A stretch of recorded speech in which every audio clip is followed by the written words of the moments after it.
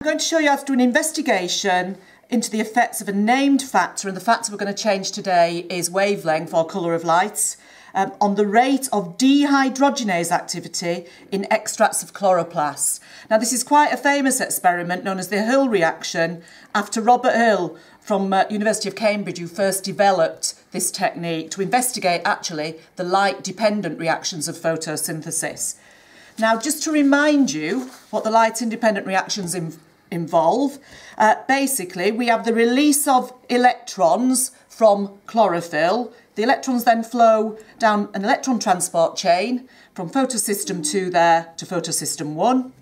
Ultimately, the electrons end up reducing a coenzyme called NADP along with hydrogen from water um, to form reduced NADP. And this is one of the products of the light-dependent reaction needed for the light-independent reaction. Now, in this experiment, we're actually going to use a blue chemical, very bright blue chemical there, you can see, called DCPIP. And DCPIP is going to take the, the place of our reduced, uh, sorry, of our coenzyme here, of NADP. Okay? So this is how the reaction is going to work. So in our experiment, we're going to actually extract chloroplast. We're going to add some DCPIP there, DCPIP, and in its oxidised form, it's this lovely, bright, inky blue colour. But when it starts to become reduced, as it picks up these electrons, it will form reduced DCPIP, which is actually completely colourless. So it will decolorise. Obviously, the more electrons are flowing, the faster the electrons are flowing, and the greater the activity of these dehydrogenase enzymes involved in the light-dependent reaction, the more quickly the DCPIP is going to become reduced and turn colourless. So that is what we're going to measure here, how long it takes for DCPIP to become totally decolorised. Now, the very first thing you need to do is prepare a suspension of isolated chloroplasts. Okay, now there are several steps in this process. First of all, and I've started it here, get yourself a pestle and mortar. One of the best things to use from this, I've just got a bag of spinach from the supermarket. Tear your spinach leaves up, put them in the pestle there, sorry, in the mortar there, add a pinch of sand, and at this point you need to use an isolation medium, okay? Um, I'll put a note on to tell you how you make up the isolation medium. Okay, so add 20 centimetres cubed of isolation medium there and then you need to grind up your spinach leaves and hopefully this will break open the cells and release the chloroplasts. You can do this on a larger scale in a, in a blender which works just as well.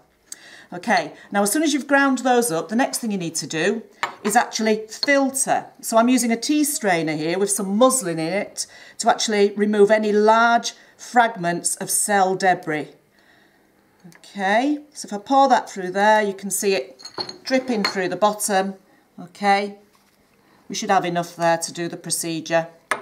Right, now the next thing you need to do is actually pour this into a clean centrifuge tube. Okay, I've already done that here. And you then need to place it in your bench centrifuge and spin it at high speed. And I find with my centrifuge, eight minutes works. You're spinning it until you can actually see a nice clear pellet has formed containing the chloroplasts.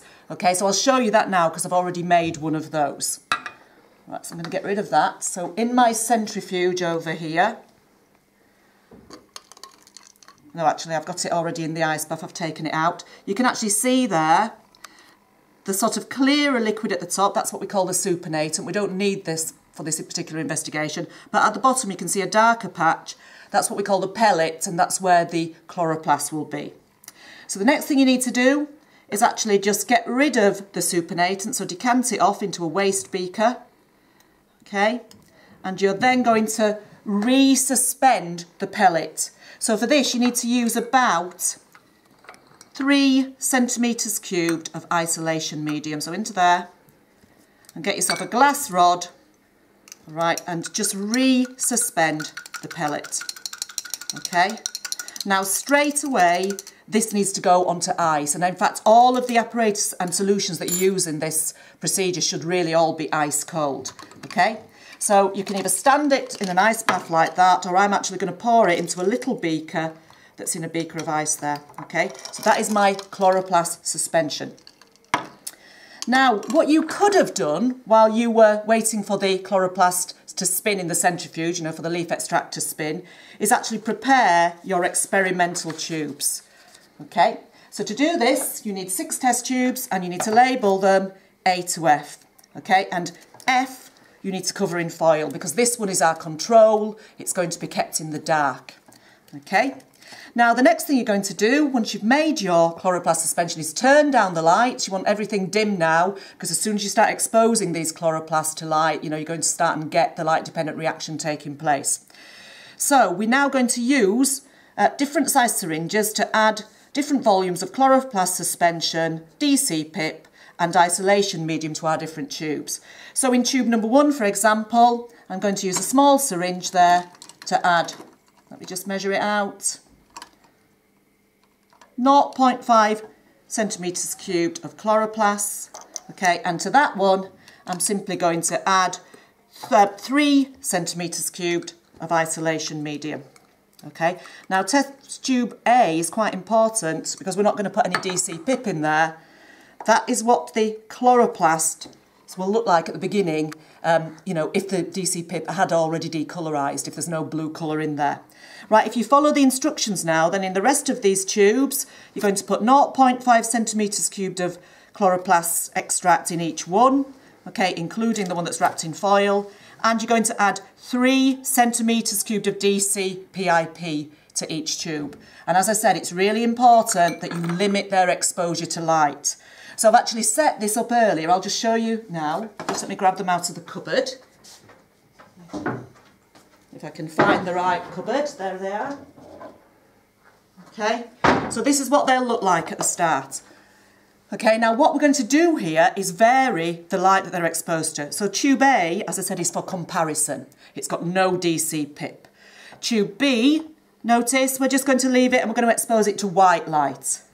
Tube C, D and E, we're going to expose to different coloured light. And a very easy way to do this is to buy yourself some coloured filters and make them into kind of little tents like that. And then you could just sit those there in front of your tubes because you're going to stand them in front of a lamp. Okay. So as soon as you've got those like that, you need to now position that in front of a bench lamp and you need to start the timer. I've set that up over here.